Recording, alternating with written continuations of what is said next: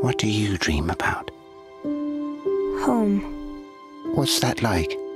I don't know. But I know I need one. So, what are we doing? We're on a quest for cake. Well, let's get going then.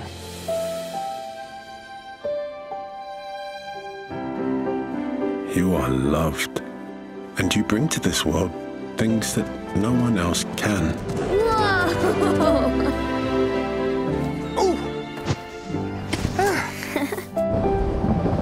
What's the bravest thing you've ever said? Help. Asking for help isn't giving up.